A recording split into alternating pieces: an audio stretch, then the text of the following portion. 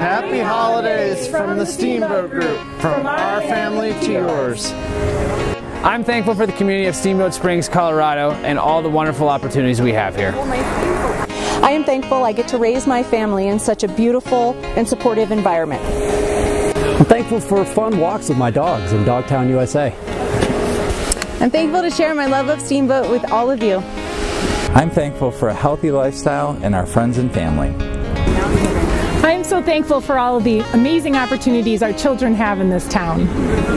And I'm thankful for the incredible team we get to work with and all of our amazing clients.